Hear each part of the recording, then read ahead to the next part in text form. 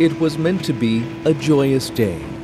Dilraj, a driver in Shabkadar, Pakistan, was engaged to be married in the autumn of 2013. A large group of his relatives traveled to Peshawar on September 29th to invite other family members to the wedding, the custom in the country's northwest.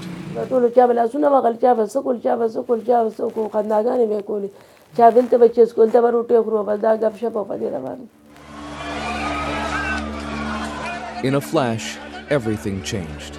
A car bomb tore through the Kisa Kisakowani market as the wedding party passed close by. At least 40 people were killed. 18 of them were members of Nazakat's family, whose van caught fire. بس پدې کې ټېله پوندې ملک تاج تاو شو بس وې دماکاو شوه او ستاسو خلک پکې ټول والوتو خو دومره مې ورته وویل چې یاره ټول مړي دي وي ټول مړي دي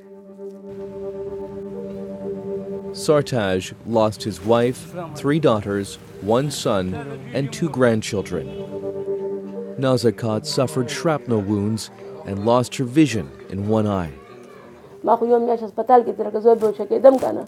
When she began to recover, she learned that her brother, Sorab, was among the dead.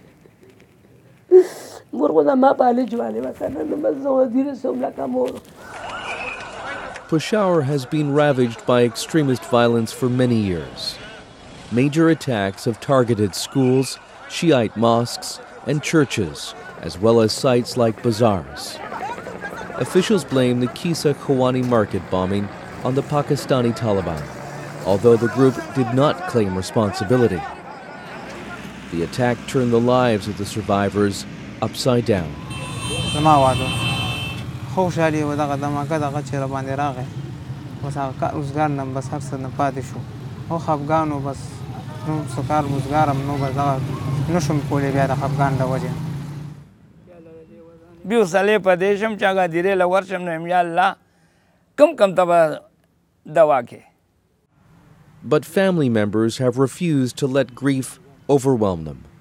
Nazakat, already a widow before the attack, wanted to support the relatives who suffered like she did. She decided to help raise 12 children in the family who lost one or both parents.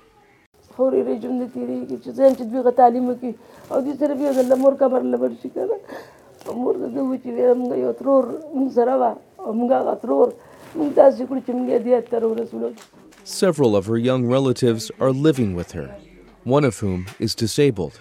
Others come to her home for meals and help with their schoolwork.